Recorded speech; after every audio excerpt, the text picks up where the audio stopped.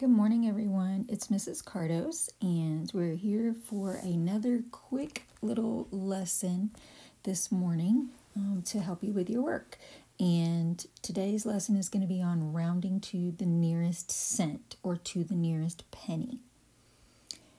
So grab your supplies, your paper, your pencil, your notes, whatever it is you need, and then come on back to the video and let's do some problems.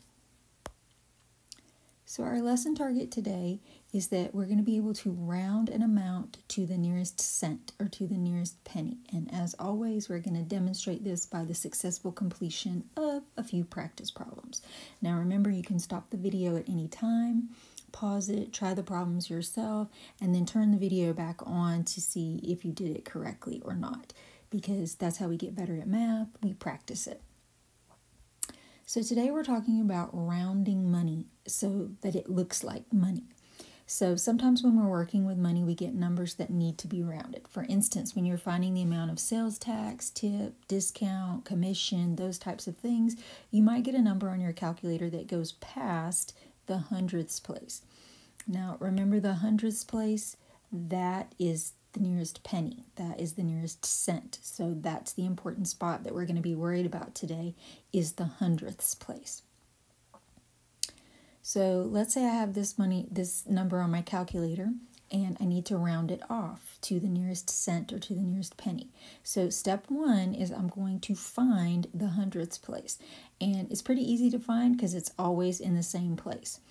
So let's review a little bit of our place value. This is the ones place, this is the tenths place, this is the hundredths place, and this is the thousandths place. So I need the number that's in the hundredths place. Now for me, I like to draw a little box around it so that it helps me see what it would look like. Okay, so it might be a dollar ninety-two or it might change. That's what we're going to have to decide but the 2 is the number that's in the hundredths place. So that's how long I want my box to go. Two places after the decimal, that's the hundredths place. So once I've found my hundredths place, then I'm going to look at the number in the thousandths place, and then that will help me to decide whether or not I'm going to add a penny or not. So again, the number that's in the thousandths place is the 3. Okay, so the 2 is in the hundredths, the 3 is in the thousands place. So it's either going to stay a dollar ninety-two, or I'm going to add a penny and make it a dollar ninety-three. Well, how do I decide? Well, there's a little rule that we follow so that we all get the same answers. And the rule says that if the number in the thousands place is a 5, 6, 7, 8, or 9, you're going to add a penny.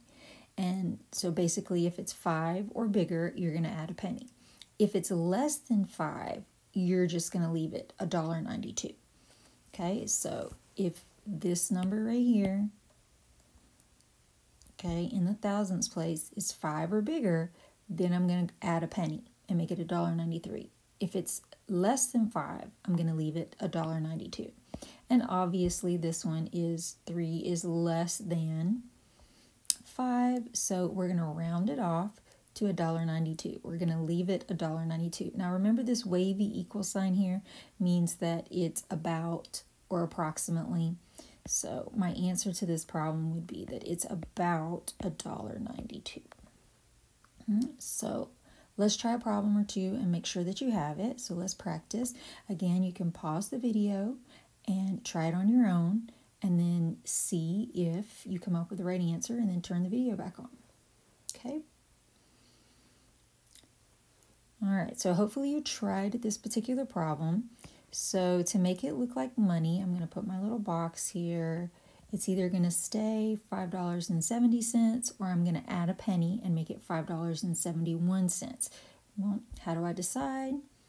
I look at the number that's behind it in the thousands place. It is a 5, so that means I need to add a penny. So it's going to be about $5.71. I'm going to round it off to $5.71. I'm going to add that extra penny because this number is a 5. Okay, and I just add one penny to the hundredths place. Let's try another one.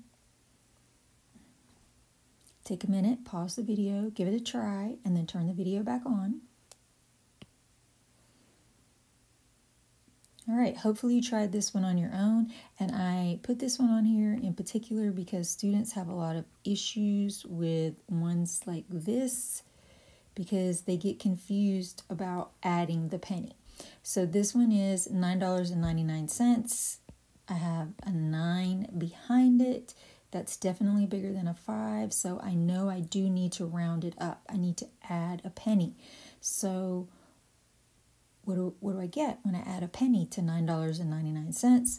Well, it's going to be approximately $10. Now, sometimes when you enter it into a spreadsheet or something, it may drop off the two zeros on the end and just put 10, and that's okay. That's the same answer. Those two are the same number. Let's try another one. One more. Pause the video, see what you can come up with. Okay, let's see how you did. Let's see if you have the right answer. So again, I'm going to put my box to two places after the decimal. And it's either going to stay $15.10 or I'm going to add a penny and make it $15.11. Now this problem throws some students off because they look at this 8 over here and they say, oh, I need to add a penny. But that 8 is not the number that I need to look at. Remember, I'm always going to be looking at the number right behind the hundreds place, so the number in the thousands place. That number is a zero, so I'm going to leave my answer $15.10. I'm not going to add the penny on this one because the number in the thousands place is a zero. So we covered our lesson target for today. We rounded some amounts to the nearest penny Remember, you can always watch the video again if you're still confused or see me with questions. Um, thanks, and I'll see you guys in class. Bye.